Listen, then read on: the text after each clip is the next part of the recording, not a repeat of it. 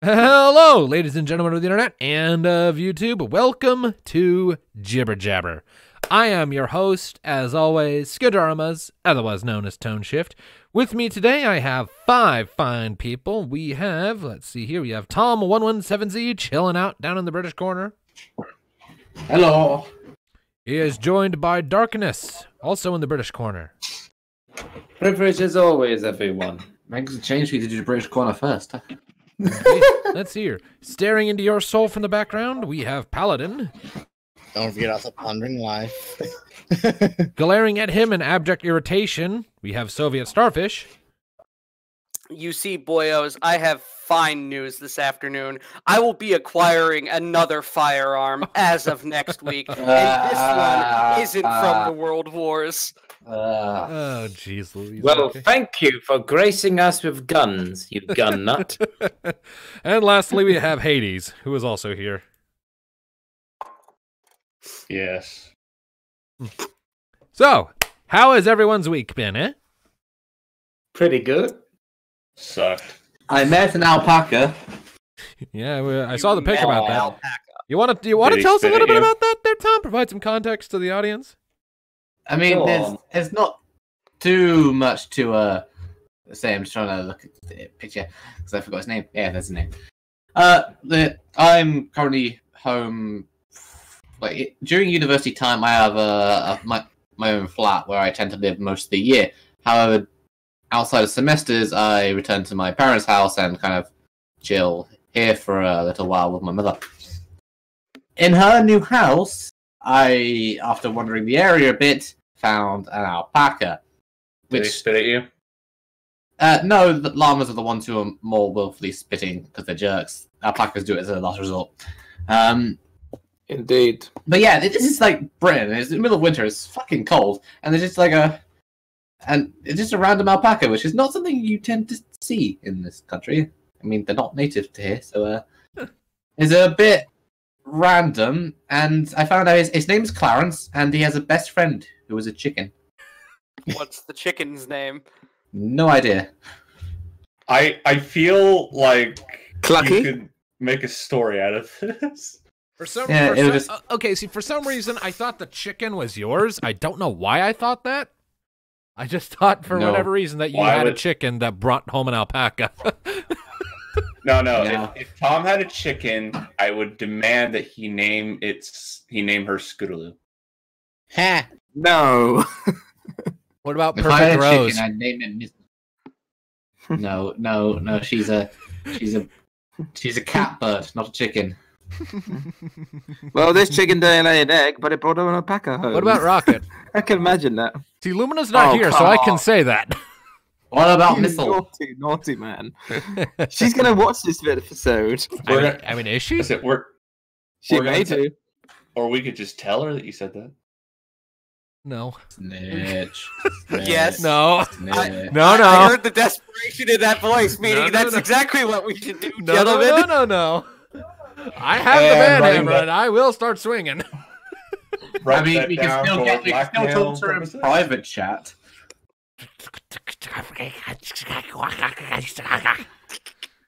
The Uh, gravy I filled. love black sound. Ah, fuck my life. Sideways with a shovel. Now then. It's true love. Ding. Okay. So. Yeah, okay. Let's move on. We got some topics to get through today. First up on the list, we have our FFD6 recap, of course. So, the last time I sat down, well, for one thing, I should point out that today's session actually marks one year since we started this campaign. Like, we'd been planning it for a good couple months before we actually sat down to start playing, but the 5th of January is the anniversary of the game's first session. We've been going for a full year. Year of hell. It's not hell, you love it. Shut up. Considering God what you just threw at us at the end of this today's session, yes, we're going to be going through hell. This, this is nothing unusual, though. I'm so Exactly. sorry I didn't hear any of that because my device is glitched. Hades is complaining about the behemoth. Right. Oh, well, anyways, yeah. well, anyways, the audience doesn't know about that, so I need to give some context here. Go ahead, So- context away. Yep. So, where we last left off, the last time I did a recap, the party had arrived in the city of Kurzatan and gotten themselves settled in at a local inn and tavern to start to act as their base of operations as they figured out their next moves. Hey, As, Tone, it sounds like a curse of a town. shush, I'm trying to talk. So, Pun lord. Hmm. well, anyways, so they th- at the start of this session after a couple minutes of being groggy and grumpy at each other they got their shit together and went to the mudhole district of kurzatan the cavernous section of the city that was dug into the side of a great desert mesa to service the slums where the only Uh, road for the for the groggy part, I in my in my defense, Mika is fluffy and snuggly. snuggly, at least she's not really fluffy she's not covered in fur Oh, there is a and tail. yeah, well, Oh my goodness. And Yeah, yes, you- we get it. yeah you So- so keep we have chasing to- that tom you keep chasing that You have the coin. You keep chasing will. that. I ship Back. it all the way. Fair She, enough. she, and- she I literally, mean, I, pretty much so does literally. I literally invented that character just to be your character's romantic interest. All right, because I of- mean, you invented it from a character I invented, so we both invented it in a way. You're just spiffing, aren't you? I mean, no, we're being totally basically- honest. Mika's based on Technically Misty from Swinging Little Wings. I'm about to Yeah. say technically Tom made her. That's why I say character Tom's she's based off of? with himself. I made I made the original concept from which Mika Solwyn was born. So Yes, he's very heavily inspired by Misty, if a bit more energetic and hmm. spry and adventurous. Hmm. Now then, and Twilighting. Exactly. Now then. Ow.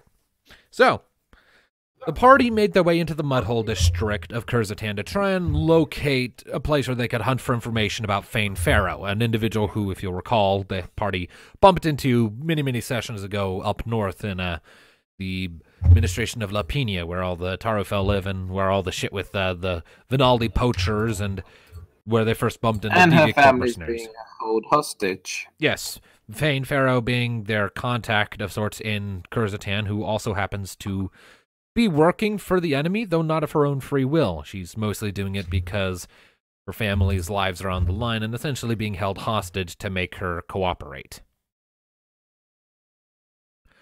So, from there, the party made their way, as I mentioned, into the Mudhole district and briefly stopped when they stumbled upon the burnt out husken remains of what was once Thanatos' old home, which had not been cleaned up or cleared out, save for the bodies that had been in it even all these years later. Still just a burnt out wreck. They briefly explored the ruins to try and, I guess, just reminisce for Thanatos mainly and he discovered his old bed from when he was a kid upstairs, and upon brushing away some of the caked in soot, revealed to the party that his true name was not in fact Thanatos, but was actually Talion. Talion Estime. Thanatos was a alias Caius helped him come up with when they met. I'll see another thing me and Thanatos suddenly have in common. 2 Mhm. names. Yeah. Well, anyways, after a bit of moping around and helping Thanatos pull his shit together by, you know, just being there and being his friends and whatnot, the party moved on, and with him at the helm, because he knows the city, he led them to the Cavernous Deep Inn and Tavern, as it's called, which is a different one from the one they stayed at, which is in the Mudhole District. This was a very loud, very cantankerous, and very violent, shall we say, inn and tavern where as far as Thanatos is aware, there are there is a precedent for periodically individuals who work for the Vinaldi family come here to share information and whatnot so that their conversations can be lost in the din of the rowdy crowd. Anyways, um, once they arrived, they found themselves a table and after a bit of thought managed to pick out someone from the crowd who might be of use to them in terms of information gathering. One of the waitresses, an Elvon woman who visibly seemed uncomfortable at the mentioning of Fane Pharaoh. Through some clever creative means of distracting individuals, Neothil and Thanatos were able to get the former back behind the bar and into the spare meeting rooms where I bought a Yeah. drink. yeah, where the Elvon went, allowing me to follow after her to figure out what was what. Whereupon, by pure chance, Neothil bumped into Fane Pharaoh. almost got shot in the face, but you know that happens when you startle someone. When when when you said that there are two female voices, like speaking harsh tones in there, I didn't predict who the the waitress was, though I did kind of think the other one's gonna be Fane, isn't it? See it now. And well, as it so happens, the waitress turned out to actually be Fane's mother, who was oh, justifiably anxious and scared about strange individuals who definitely stand out like a sore thumb in the ragged, dirty, muddy, unkempt mudhole district who are looking for her daughter. Anyways, Fane Pharaoh was able to assuage her mother's concerns and instruct Neothil to take her companions and go along with the favor that was to be asked of them by the guard who had let them in in the first place after their disastrously after the negotiations they had to go through just to get into the city. Neothil agreed, pulled the party back together. They went back to their HQ of sorts, and a few days later, they were handed a parcel by a man named Cedric, who instructed them to take the parcel and deliver it to some individuals up north, apparently associates of his. Mm, right, associate. Right, fuck you. the party took off Mhm. to do that, and about halfway there, they were briefly stopped by Fane Pharaoh herself, who was stalking them under the guise of spying, when in reality she wanted to follow them so that she could talk to them more freely, and got down and started to explain in detail some of the chaos that has been happening in the city ever since she last saw the party. Namely, that with a solid half of the lieutenants in the Vinaldi command structure eliminated from back when the all that fighting took place up north, it has left a very noticeable power vacuum in a region of the Vinaldi's command structure, which has led to a lot of fighting, infighting, power struggles, and open conflicts even out on the streets.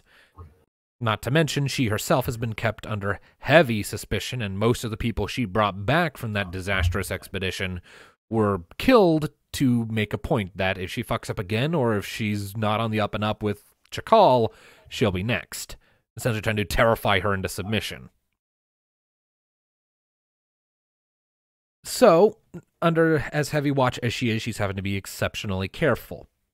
She talked with the party for a while to try and come up with a plan of action, a strategy to start luring out the higher ranking individuals so that the party could take them down, preferably without lumping too much suspicion on Fane. If there's too much suspicion placed on her, her family will probably be killed, and so will she, and she is not willing to risk that. The party came up with a loose outline of a plan. Could still use some finer tweaking, but they got the basics done before Fane decided to return to the mesas and plateaus surrounding them to keep an eye on things, while they continued to deliver the parcel Cedric had entrusted to them, if only for the sake of maintaining appearances. The party followed Cedric's directions towards what appeared to be a long abandoned campsite in a cavern that was burrowed into the side of the mountains there at the base of. And upon drawing closer, they are they discovered rotting corpses in the back of the cave, devoured by some giant angry beast, and said giant angry beast then returned to its den in the form of a young sand behemoth. It spotted the party, and with a great deafening roar, deafening and stunning them, it charged forwards, and that was where we ended our previous session. Or this session. The session, next rather. is going to be painful. Fortunately, I am stealth, so I am ready to am- use an ambush to get an extra damage step. Yeah, so, so yeah, Good.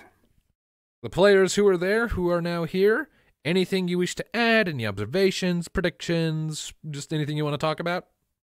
I just, I, uh, I just hope that none of us falls because we won't get a second life. Well, it, yeah. Oh, unless we have um eight uh, destiny points, which I do because I've been saving because I'm smart.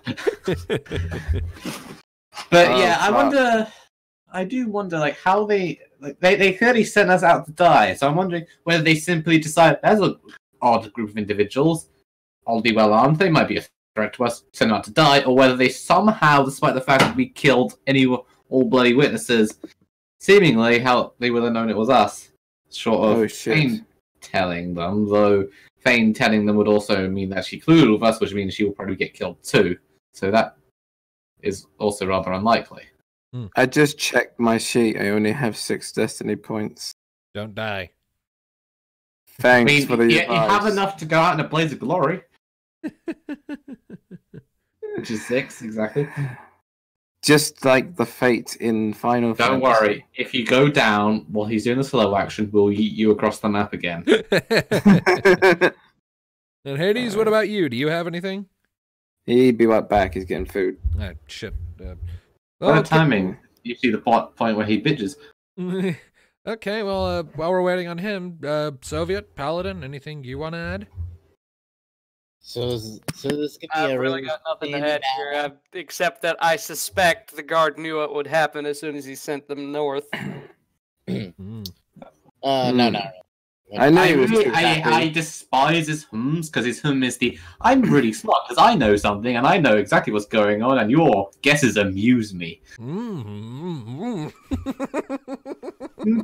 Or, or you. someone just brought him freshly cooked food and he's enjoying it too much. No, actually, I- no, actually there, there's no food in front of me right now, but I am really fucking He hungry. Thanks for reminding me, by the way.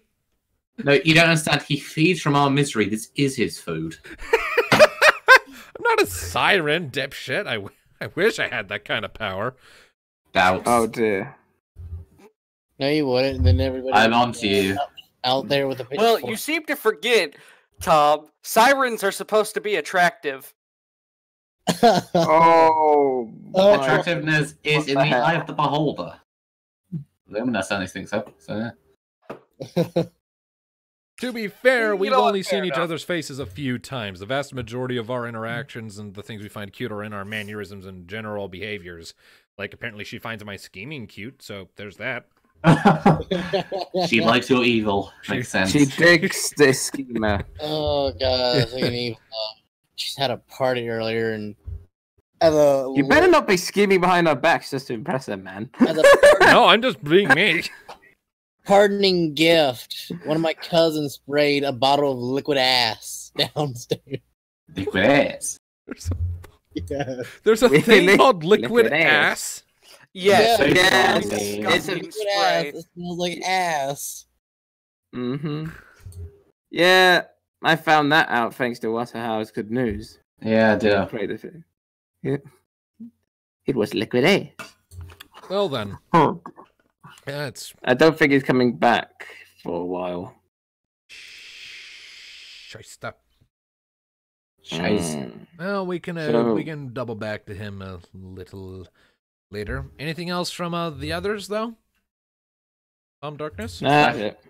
Well, really, aside from the only thing we've got to do now is kill a behemoth, uh, see what the fuck's going on with Fane, and then go through with our plan of. Oh luring wait, he's back, right on cue, just in time. Hello. It is. What? Odyssey. What? What I do? We were waiting on your opinion of the the session. Yeah, like any Yeah, you thoughts did- you want had, anything you want to point out or Any on? bitching you need to do. That too. The beginning was something that I wanted to. I knew I wanted to do during this session. Like I had already kind of poked Tone multiple times about it yes, you did. before before the session. Yeah. Mm-hmm. The last name for uh, Talion wasn't uh, wasn't really something. We we kind of just gave up and just chose something from another game because I couldn't think of a good one, or at least one that Tone would let me have. One. And then we just said, you know what, just take this. Honestly, Talion was just a fun name that I have, and any who have played uh, Shadow of War. Shadow yes. of War and or Shadow, Shadow, Mordor. Shadow of Mordor, more or less, because the 2nd Mhm. game is garbage. Yes, that is kind of who it's based off of. Well, the campaign was garbage, but they did improve the Nemesis system a bit. But then they screwed it with the boss fights with the Overlords. Hmm. My opinion. Right. Other than other than that, honestly, I figured it'd take us a little longer to find Fane, or at least we would get we would have got jumped in the bar. After that, I had a I didn't I had a feeling that it was either going to go two ways. The guard was going to have us like go kill somebody that he didn't like, or he would have gone and just put us into an ambush. and I guess the second one was kind of on the spot, only it's not people so Nope. that are attacking us. It's a behemoth. Yes, something I did not quite expect Tone to throw at us so early. Thankfully, it's only a wee babby. It's an adolescent. Recently left. It the can still kill us out. though, and the sad thing is, I only have six destiny points. So if I'm down and I'm dead, then I have to start again. So you have to. Well, you're gonna have to make a new character. character because I and then start. again. exactly because there is no respawn. I mean, Final Fantasy respawn. This no respawn. I mean, as long well, it's a regular boss, so it takes a slow action to actually kill you. So yeah, as long as someone us- is fast enough to haul your body out of its range, you'll be fine. And that's assuming you go down to zero HP at all. I mean, Mhm. again, depending on what, how much of what I what I assume of a behemoth has in terms of like skills and magic that he gives an adolescent, it may just be a melee fighter, and we may be able to deal with it. Mm. Hmm. Well, But of course, Mister, I don't like to say anything, isn't going to tell us. well, of course. All I'm gonna do is, all I'm gonna, say, my strategy is keep the fuck away from its claws and teeth and any magical abilities, and try to keep you all alive. You fought a behemoth. You know that's damn near impossible. I know, but I said the word try. Try These is things- the word I fucking use. These things I are enormous, but my resistant. Yes, God, are do they move? Yeah, the They are yeah, a pain in the yeah, ass. yeah, yeah. Yeah. You said try. The and fail part is silent though, so I mean, just Anyway, these things can run. They can jump. I know. Don't remind me. well, I have a limit break that does uh, at least a guaranteed. don't they also Wait. have an ability called Charybdis or something? I don't remember what that one does. No, No, no, they don't. No, they do not. don't. Hang No, on, they do me- not. No, no, no, I'm no, gonna. Google that shit because Hell to the you're- fuck no. you're- No, you are not. No, don't. Don't you dare. I'm not giving it the ability, but I'm looking it up. Uh, that was one of the most annoying things I had to deal with in Monster Please Hunter. don't. Please just don't. Oh, speaking of which, I got that for uh, PC. What Monster Hunter World? Yeah. Nice. Just need the Mhm. frame rate to do it. Yes, two enemies you're gonna have to deal with that are gonna suck. The Behemoth is one, and then there's the Ancient Leshen from the Witcher uh, add-on. That Mm. thing is a pain in the ass. Yeah. I recently Yes. bought the first. I think Witcher all behemoths I, are a pain in the ass. So I What was recently bought I recently bought the original Witcher game in like the winter sale, so after I finish XCOM Nice. 2, I intend to play the entire series for the first time. Yeah. Just bear in mind the first the first game is exceptionally clunky in just about all of its aspects. Well, it was I mean, made. so so's Dragon Age Origins. It was- more It was Dragon Age- clunky, but it was fun still. it was- the second one was better. It was better. made like l- so long ago, Tone. Yes, it's going to be a little clunky.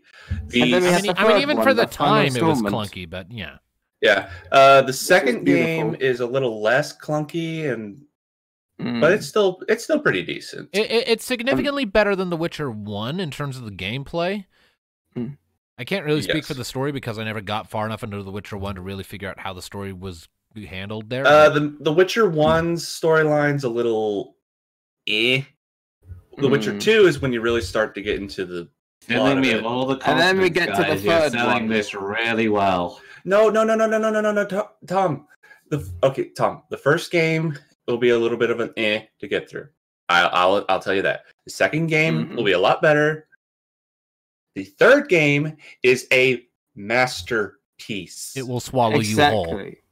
yes. It was well crafted. It's beautiful. The I will music's on point. I will make my Ah. own. You ha- you get to have a hallucinogenic conversation with your horse. That's in the I love that. Shush. I fucking, happens. I I will. I will make my own judgment on the series as I play through it. So I remember there was another. If anyone plays Gears of War in here, I remember I, Yeah. that series got recommended to me to death. I never fi- finished the first game because it was boring as fuck. Okay, Ge- okay, Gears. I I can tell you, Gears. The story is, eh. The only reason I really play them It's too much is just because my friend does. I, I bought all three for a deal of seven pounds. And ah, I've heard a lot. Ah, this has been recommended to me to death. I'll play it. I played the first game. Like this was ye- this initially was years ago.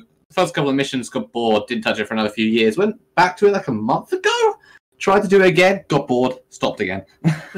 Mm. Then again, I say Gears Gears, is fun more of just friends. something to play with friends rather than Yeah. the actual campaign.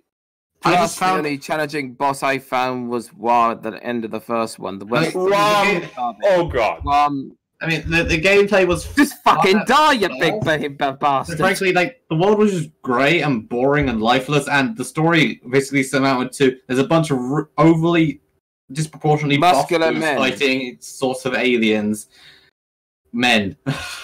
Yes. Man! So we've Although really, so so we've gone into segued right into improvisation here. Well, Yeah. I mean, that was that's just the thing. Tom Tom will love the Witcher games a lot better than Gears. I mean, Yes. I love, I love the Dragon Age series, and I kind of like that whole thing. So yeah. Mm. It's a lot of fun. Also, speaking of Witcher, if mm-hmm. anybody has Netflix, you should totally check out the Witcher. Oh, I've already, I already series. watched the It's entire good. fucking. I am series. deliberately if, not if, watching if, it if, if my family still had Netflix, I would have done so as well, but we don't, so I can't. I am Well- willing to watch the first episode when we're done here again and stream it to this chat for those who don't have No. Netflix. I, I have other Netflix, shit I need to do, sadly, so that's a I'm gonna be a deliberately- for me. I'm deliberately And not watching it because I haven't played the games yet, and two, the, its existence is one of the reasons I've decided to actually pick the game up. Finally. Well, So- technically, Tom, this this the show is focused more on the books that the that the games came from. They matters early. not, matters not, matters not. Yes, But and before we jump, Yeah, as I understand it, Hey, uh, don't- as, as I as I understand it, aren't the games set after the books? indeed, All right. Yes, Mhm. they're set like way afterward. yes, After- Yeah. yeah, it's set like quite a few years after the, the end of the books. On then the final- So it would actually make more sense to, to watch, watch the series first and. Well, then do you know what I have to say to What? your sense? what? Wow. Blah. Blah. Blah, Yes. You dare blah at the mighty power of I- Yun? I made the blah, so go On the fuck I yourself. hate the blah. Your words of power mean nothing to me, a master in marksmanship. I'm afraid you can't shoot me through a microphone thousands of miles across an ocean, so I win You're not. through you. Yeah, you're not fucking Deadpool, so be it. Just I'm shoot. just- Yeah, You're go ahead. starfish Shoot of this your server. microphone and computer. See how that goes for you. but but no, seriously, anybody who is not should totally Uh-oh, check it out because it's mouse go? awesome. And Henry Cavill got Geralt down. Fucking perfectly. Yep. Nailed it. Ah! And on a final note, for the record of freaking first person shooters, I stick with Halo, thanks. Yeah. Yeah. I say Tom Tom down here recently got me Halo Reach, the Me Master too. Chief collection. I got Halo we- Reach on Steam, and Yeah. it And it's- was fucking you know, worth it. It you know, Tom, it was funny because the moment I said that um, to a friend of mine, he immediately grab He, he immediately just says, "We are playing it right the fuck now." yeah. Yeah, Tom dragged me through the whole campaign. Kind of on the shorter side. Didn't have quite as much depth as I thought it would, but it was fun. I also Hmm. heard that the Master Chief Collection is also eventually going to get the rest of the Halo games too. well, yeah. Oh yeah, they're slowly releasing them to Steam. Yeah. Through They the started with. Reach because it would make the most money. That and, you know, chronological order. Yeah, they're releasing them all in the Hmm. chronology of the the story. So, Which also makes sense. so but reach it- one, it's two, still- ODST three, It it, four. it it still bothers me because um Reach takes place pre like right at the beginning of the Human Covenant War. So no, it doesn't. why- Reach takes place No, no, no, right no, at no, the no. end of it. Wars takes place at the beginning. Reach felt falls like a month before the war ends. Hmm. Like the Hmm. Halo one, two, and three take place over like a month and a bit. A month and a bit. that makes no Yeah. fucking sense considering all that happens. A lot happens. Literally, the, the, uh, like you have Reach taking place over like, well, Reach itself takes place over a, a month or, or so. Um, over, or a month. I think it was a month or two. I think it was actually more. It's two months. Reach takes place over, but uh, then Halo One happens within the space of two days. Then Right. there's like then there's like the space of like a couple of a few weeks between Halo One and Halo Two, which is mostly the Chief getting back to Earth and then Earth being attacked. Question. Then then you have another week which encompasses Halo Two, and then a few days after that which encompasses Halo Three. Question. Yes. If it's called the Master Chief Collection, why start out with a game that doesn't have Master Chief? It Because fuck you, there's, that's there's actually a funny achievement based on that. In the Easter egg in the final cutscene in the uh, hangar, if you move the camera to the right, you see Chief in his cryopod. The achievement that pops up saying, "See, we are eligible for the collection." I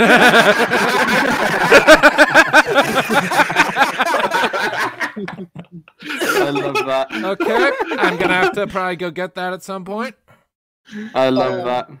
Because But I, it's Oh just my a bit God. punchy. He's There's like, one yes, thing that always it technically has catches Master Chief in it. I mean, Um, they I would say just like Halo a lot more if we the last stopped playing as Spartans uh, all the fucking make it off time. yes, we know your opinion on Super Soul. Uh, there's, I feel like there's one more that made it off of Reach. One other Spartan. Well, you Oh. don't always play the Spartan. I mean, you did play the Arbiter in the second Yeah. one.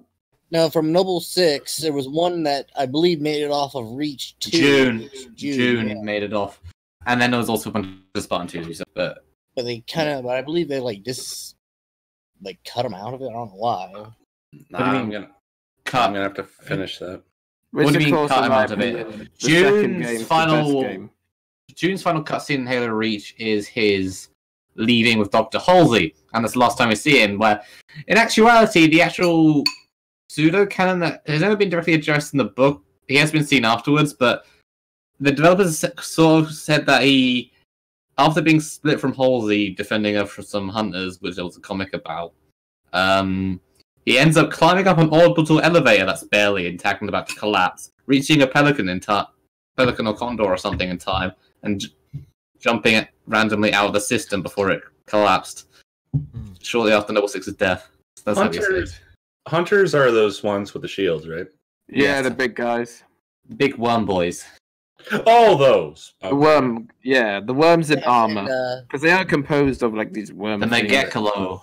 Oh, yeah, and Scarabs are made of the same thing. Yeah, I. I Yep. can't remember where we stopped. It was a few missions in. Hmm. I remember like me and uh, Tone there for a couple like found out the hard way that you kill. Well, you found out the hard way. You kill one, the other one gets pissed off. Mm-hmm. Goes for you. when it comes to Oh, first person I- shooter games, I'm generally not into first person shooter games most of the time. Because you know a lot of them tend to feel exceptionally samey. Like a lot of the time you've played one, you've played all of them. The vast majority of the time. Uh, Basically, Call of Duty. Like, yeah, pretty much. Like any Yeah. modern military shooter is a hard pass for me at this point because no, You thank know. you. Um, the only ones that have really stood out to me are like we've been saying here, Halo. Um, Hmm. but more than that, largely because I never had access to Halo until recently. More than that was the Crysis series because Hmm. I, I fucking love the nanosuits. Those things are awesome. they are cool. I Crysis. can't, I can't wait for us to get to. I know you played Halo 1, but I can't wait to get to Halo 2 and 3 because Halo 2 and 3 is Oh, also a bit of a part 1 and 2 because Halo 2 they ran out of development time because it was incredibly strict. So they kind of made half of it and they made the rest of the second half in 3, even Hmm. though they're decent. Halo 2 is decently long anyway. Hmm. Well, I still. But s- This is three's my best. opinion, of course. The Hmm, the other first person shooter like the series second one the The most, other but series that's of first person shooters that I happen to really like is the Resistance series on PlayStation. Uh, and I Mm, I've wish. I wish really hard that they had put out another one to kind of wrap things up because it kind of stopped at Resistance 3. Uh, but I'm actually really fond of the Mm. Resistance series largely because, well, for one thing, the aesthetic and setting of it is really interesting because it's alternative history in that it's sent set like in the 50s or something Hmm. and uh but it's about uh essentially uh, an alien invasion that begins through a virus the chimera virus like how many people are familiar with it from here I am. I had all the I, I know it had something to do with the interrupted. I believe it interrupted one of the world wars. i don't know for sure but what i do know is that for one thing i love the design of the chimera just all of their various sub races are awesome looking to me Mm-hmm. i like the kind of horror-esque tone it took It's sort of you Hmm. know it's a scary. It does have its difficulty moments as well. I it mean, can be difficult. Yeah. And lastly, and lastly, the part, but but more than that, the part that I like the most is that, as realistic as it can be, being an alien invasion thing, it's actually relatively realistic in the sense that we fucking lose. Humanity does not win that war, which is how it would go down in the event of an actual, like, legit alien invasion. I feel because we are just not prepared to deal with something that Every technologically advanced. We can fight back for sure, but especially for considering the technology of the 50s when it was all going down, there is not a chance in hell they could win, and it wor- proved to be the case. Humanity I got mean- fucked. Which is basically XCOM 2. Mm. Well, Right. XCOM, XCOM 2 Actually, follows it's all on if you XCOM. failed the. XCOM 2 is like an alternate timeline where in XCOM, in XCOM 1, there's a story mission where the aliens invade your base and you have to defend it. XCOM 2 follows a timeline where, what if you fucked that mission up? Hmm. Hmm. Don't forget, And there's the also base the got destroyed. first XCOM that also came out on the Nintendo 64, if I recall. Uh, Where that one. basically that one is incredibly hard. To be fair, Although I know can nothing really about XCOM other than it's about aliens and ridiculously high difficulty and percentage numbers that mean all of fucking nothing. and Well, they the- won in the old one. They technically win. They technically win in the reboot first one because at the end it turns out the XCOM project's being shut down. They're no longer going to invest in it and all that, and they basically took over the entire fucking world in the second one. And now what? Well, XCOM no, I, I, I, and in the end, the, fir- you got that wrong. In, I said the second one's an alternate timeline. In the end, the first one, if you do it right, you win. And hell, yeah, we definitely won because Nia Phil sacrificed her fucking life for that. So don't take her victory away. well, we And did then- win, but there was that And then the aliens fucked us cutscene at the end. And she no, in the alternate, in the no, in the alternate timeline. Uh, Hmm. in XCOM 2, the aliens won, but Nia Phil's still alive in that one currently, along with everyone else. Yeah, Oh, Fane's still dead though. um, Hmm. Sorry, since you brought it up, and it and I can turn it into a topic. I don't know how long I can stretch it though. Um, you did ask about Arma modding and all of that, correct? yes, I did, I because you kind of were railing about that like uh, before we sat down for last week's. Yes. So uh, why don't you go ahead and educate us a little bit on how that went? Just talk about that a little bit. Oh. Our, uh, before I say anything, I, I kind of have to explain how working on Arma and making custom missions work. Arma 3 is a good game in the sense that when it launched, Bohemia Interactive put in a in-game editor for the community to use the game's assets, maps, and buildings to make their own custom missions for um, its massive multiplayer community. That's how people like Soviet Womble, for example, do all of their content. Is they have they'll either do they'll either make the maps and missions themselves. They'll have people that they work with that do it for them, or they'll get ones that have been um, pre-made and uploaded by the Steam community, and that's how they do it. And that's how they'll do it. However, what people don't tell you about this process is Arma is known is what is known as a functioning piece of software. It does not like being messed with, and it is very difficult to get things to work properly sometimes. And that can be for a combination of reasons. It could just be the built in AI is too stupid to comprehend what it wants you to do. That's most of it. The other part is if you're using a, com- a community made map, most map makers aren't that good and they forget to make certain things non destructible. So, for instance, you'll have a concrete wall that if you tap it with a fucking bicycle, it collapses. Hmm. That's somewhat different to the recent Arma video I've seen of Soviet Womble, where they tried to blow up a factory and couldn't. no matter How much they put into it? Hmm. yeah that that it, it, you have to you have to find what works where and that's where it's difficult my problem that i was having the other day is the ai cannot comprehend what i want it to do and even though what i'm doing is fairly simple i am just telling the driver of truck a go here soldiers dismount when it arrives on location truck B go to secondary location, soldiers dismount upon arrival.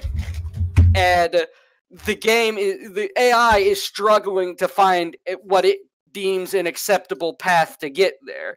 Hence where my problem last the other when I was complaining about it last week, where it's like, what the fuck is going on? It's not listening to me, even though I gave it very easy to follow instructions. Hmm. Yeah, that does seem to be the way of things, doesn't it? Uh, the Yeah. other thing about Arma modding is you have to have different mods for what you want to do. For instance, the thing I'm working on is a alternate history series where World War II doesn't end. It goes on a ceasefire for a little bit, and then the Allies attack the Soviets because they're putting troops alongside the borders of Europe, or what is freed Europe. Fair enough. So But- interesting. Yeah, Right. So- Isn't that the thing you commissioned me to do voice acting for? Yes, it is. You have the opening narration, which is the solid um, first. How long is this? Hmm. How long is this audio clip? I do not remember. It's been a while since I Ah, recorded yes. it. It basically the first five minutes, four and a half of those being the open narration is just going to be that narration plastered on top of um, actual stock footage from the World Wars and maybe some of Vietnam if I can find ones that are appropriate to cut in. But essentially, it's just a five minute summary of what happens. What happens is this. Germany in this alternate timeline is not focused on two fronts like they were in ours. They are focused on stopping the advance of the Soviets in the east. So the Allies in the west swoop in in early 1945 and kit and take Berlin. Germany surrenders, and the Allies create a front against the Russian bor- against the Soviet advance, and they nego- they make negotiations. The Soviets withdraw from the borders of Germany and Austria, and that's where everything sits for a while. In this timeline, we've deemed the, the border between liberated Europe and occupied Europe the Red Curtain, because in our timeline, there was a there was a border like that, except it split Germany in half, and it was called the Iron Curtain. Hmm. Most famous, the most famous section of which is the Berlin Wall, Right. The yeah, I heard about that. Barrier between East and West Germany. Big thing when they got knocked down. Wasn't Yes. that wasn't that a relatively recent occurrence historically speaking? The knocking down of that wall. Uh, historically speaking, the Berlin the Berlin Fall collapsed in 1991 after the Soviet Empire dissipated. Uh, after the Soviet Union dissipated. right. That was only five years before I was born. So yeah, fairly recent, relatively speaking. Yeah, and the Germans got the other half of their country back. Yes, but Hmm. in this timeline, the Iron Curtain never happens. It's called the Red Curtain because Soviets and the fucking Communist Party, for some fucking reason, associate themselves with the color red. And again, this is the time period where um, paranoia against communism and its influences was starting to creep up because the Soviet Union existed, and it is one of the most oppressive governments in modern history. Well, I guess without saying. But essentially, like I said, about a year between mid 1945 and 1946 passes, and Ru- the Soviets start slowly moving troops to the border of the Red Curtain. So, in a preemptive measure, the United States bombs Stalingrad and Moscow. There's a reason why those two cities were chosen. One is the head of the political infrastructure, and the other is a blow to morale. Stalingrad was a very significant city in World War II because it was seen as this It was named after their leader. They were very intent on keeping the city during World War II, hence why the Battle of Stalingrad went from early mm-hmm. 1942 all the way to mid 1943. The Soviets spent a lot of time, manpower, and excruciating amounts of expenses to keep that city from falling to the Germans. So, what does America do? They drop a fucking nuke on it. They take the city that they were trying to rebuild and turn it into ash. As we do. So I take To make a that's, point. that's this universe's version of the Rush, the Russian Yes, bomb. because a lot of things go differently. Japan signs a non-aggression pact before May of 1945, so Nagasaki and Hiroshima never happen. So we just Instead, bombed it's- Stalingrad and Moscow. and instead. Moscow. Hmm. Of course, the intended purpose of bombing Moscow fails because fucking Stalin wasn't there. Instead, he was close to the fronts and making inspections on the troops. And because of this, he uses it as propaganda to um, basically take China, which was post communist revolution at this point, and they're like, hey, look what these guys are willing to do to make a point. And China's like, oh shit, those guys are bad. We're going to join the Soviets now, which doesn't happen in our timeline. In our the timeline, it instead, what happens? Opposite effect of our timeline.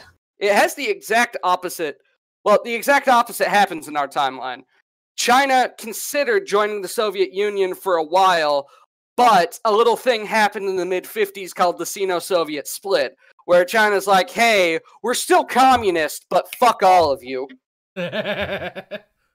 Hmm. And uh, that, that's where modern China comes from. Wow. but i i- this series takes place about let's see 1946 to 1962 give or take about 15 years Huh. in what is known as the continuation war world war ii never ended it just continued and we changed and uh, certain factions changed sides so for that, there are a lot of mods that we needed, mainly in the um, Vietnam and Cold War era, as well as World War II. And it is difficult to find things that not only work for those two specific eras, but things that will actually not look like shit on recording. And that is something we ran into in one of the main mods we use for our Vietnam stuff, which is Unsung. Unsung is a Vietnam War mod for Arma 3. It has a lot of good assets. It also has a shit ton of very bad assets. To the point to where when I was looking through it with a group yesterday, we dubbed most of the weapon models as cursed weapons.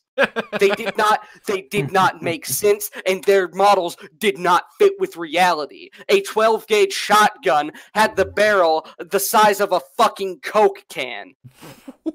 I mean, I know fucking Not nothing like, about 12 gauge like shotguns, but even I know. Coca-Cola, not like a full big Coca-Cola can, but like the Coca-Cola mini cans. It was about that fucking big. And let me tell you, a shotgun is not that big. And if it was that big, it would no longer be a shotgun. It would be a fucking grenade launcher. And Mika for Me's passion for Boltstorm was creepy. Yeah. Um, there were some guns that looked like they were textured using MS Paint.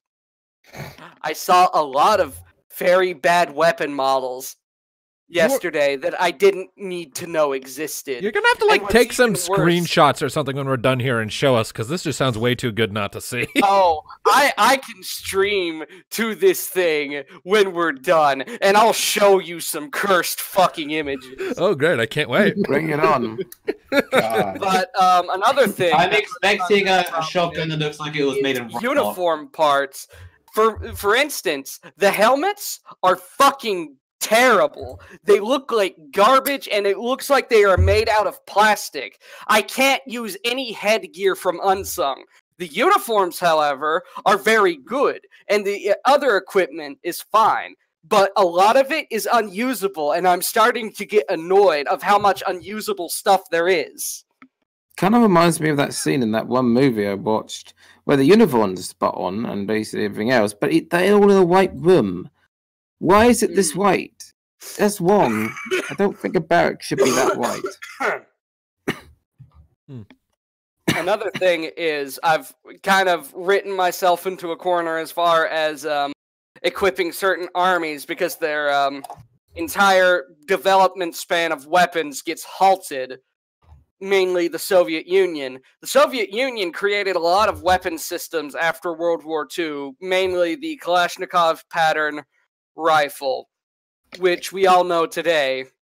That was only developed because they had they had a uh, so-called era of peace to focus and develop technologies. In this timeline, they don't get that. There's about a seven to six month, a seven to ten month gap between when the war is halted to when it resumes.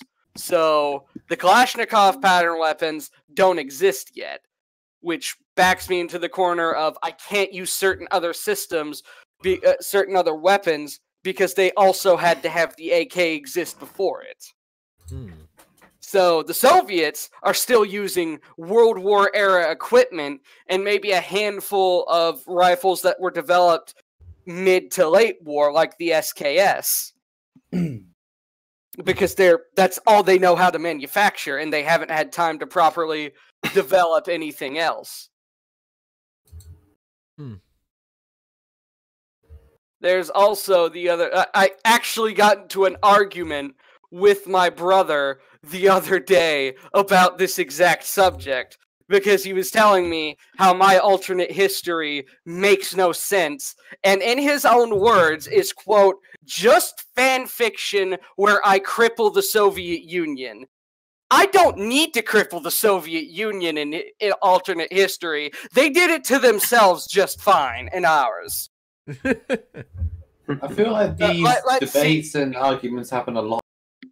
No, they don't. But my oh. brother, my brother, for whatever reason, does not think that I am competent enough to understand how history works. I I know very well how history works, and I can tell you, if the world, if we attacked the Soviet Union after World War II, they would have outnumbered us. But that doesn't mean we, they would have won. You kind of can't win a war if your people hate you and you can't keep them equipped. well, I'm sure you'll figure it out. Yes, it, it- there is always a problem with Arma. Like it'll just crash ran- randomly. I'll be um messing around with things and up there goes an hour worth of progress because I didn't save and the thing crashed. This is why I save Fuck. like every time I do a thing.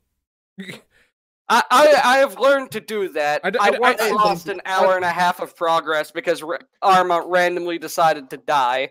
I mean, I mean, I just have control. I, I almost always just have control S, like my pinky on control and my middle finger on S at all times. So no matter what I'm doing, I can just instantly just bat to save. Just uh, uh, every time I move something like a fucking inch, just I have a feeling, Tony, you just put a tree, we're like, save.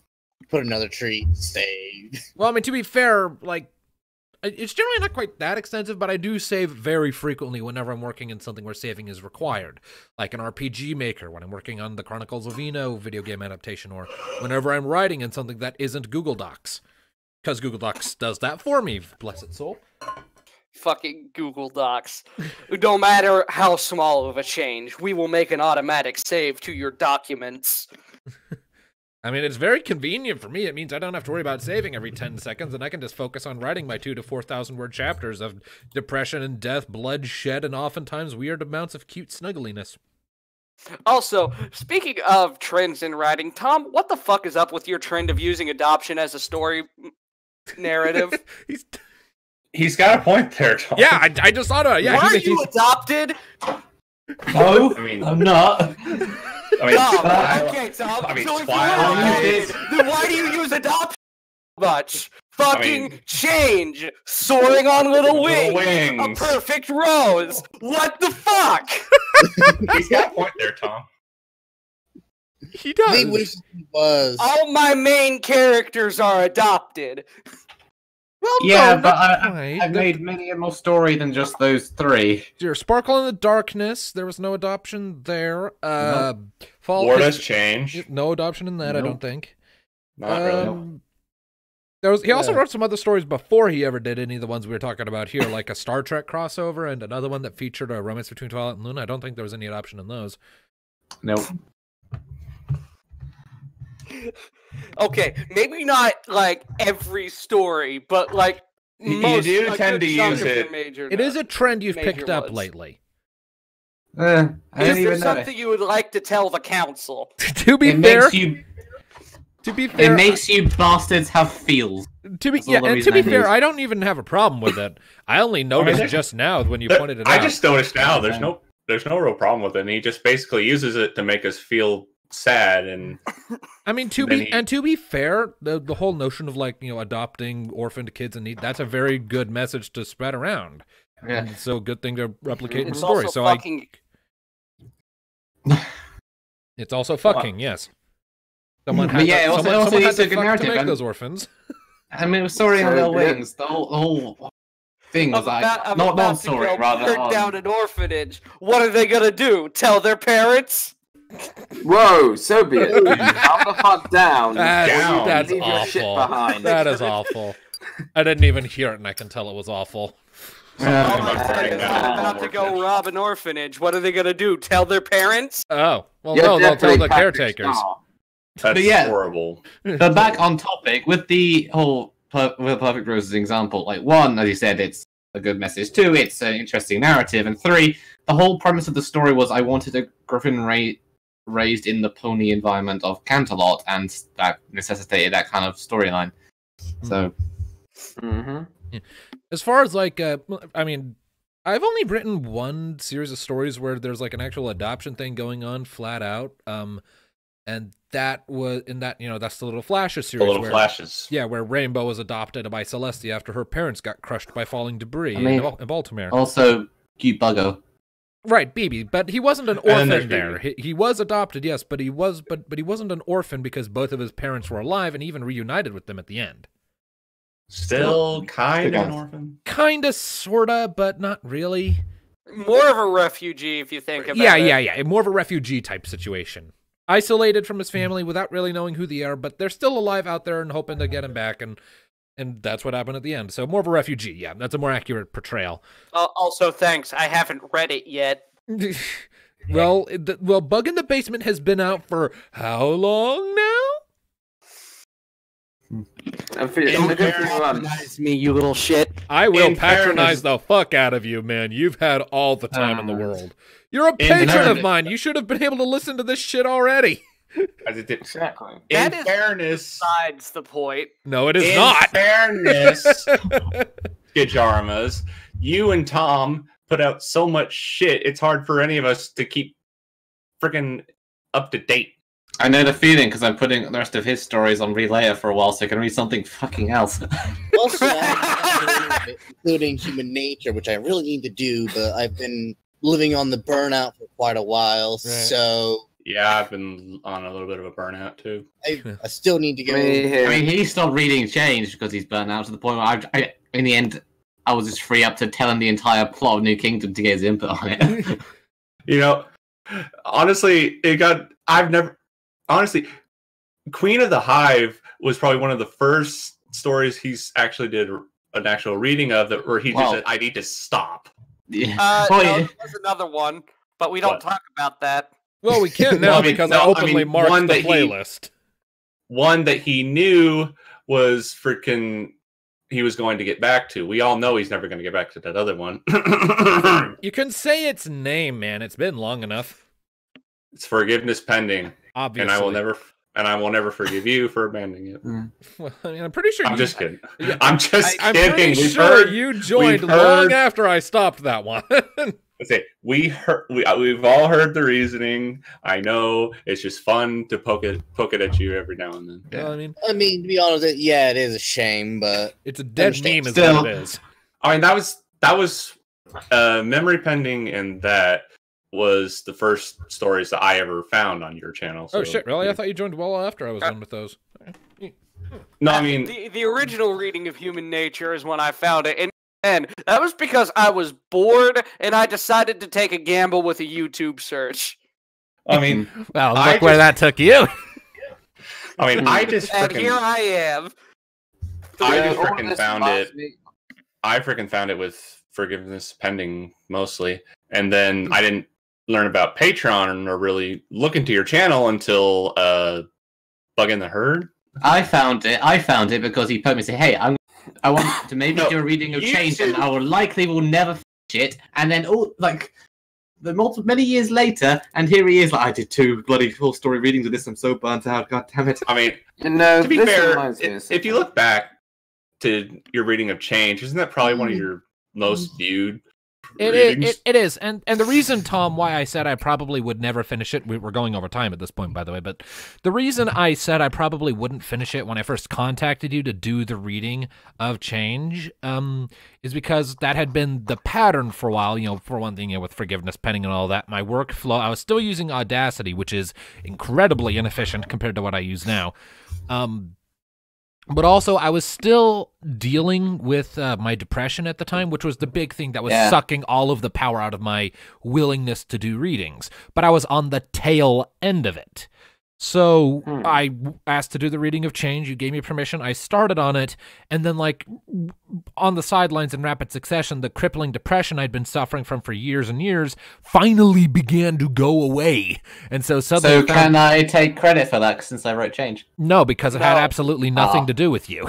you. You were completely unrelated to the events that let me climb out of my depression. It just No. coincided chronologically. No, th- that's a whole other story that I am not getting into on this show. No May I Change. say something quick? You may. Yeah, go ahead. Okay. yeah, I think Since long- we're speaking about. Oh. Let him talk. okay. Wait, you talk. I try one more time. You know don't know what? what's- I think this is Honestly, the time. I'm just saying, one basically, this is what I say. Okay, since you're speaking about Skijaramaz, the first thing I ever watched and going to, do, and also the first fic I've ever completed, was that one with Chrysalis and him. Which is saying something Which since is he's not Bug in the a Herd. brony. Yes, Bug in the Herd, and and it's thanks to that also became the first Patreon I ever. Can I ask why do you read these things if you don't? You're not even a brony. I don't know. I, well, this is the Watch thing the with show, me. God damn it! It's all on Netflix. All nine seasons, plus what else you need to consume Now, to now. understand any We- of this. No, no, no, is no. on- Soviet, Soviet, Soviet, down. We respect each other's fandoms and non-fandoms here. This is a safe space. that being Closing said. I I- do. Act, that being said, I do actually. I was going to with Sylvia. explain before he just. end it, end it, please. Oh God. Okay, yeah, we've been going. we we've been going for three minutes over time. So, uh, Yeah. thank you all, ladies and gentlemen, so much for tuning into day, the. Shut the hell up! I'm doing the outro. Thank you all, ladies and gentlemen, so much for tuning into this episode of Jibber Jabber. We'll see you next time. Keep listening, people. Bye bye. Look at ass. Ta-ra. Ta-ra. Bye. Wars suck. Orphans.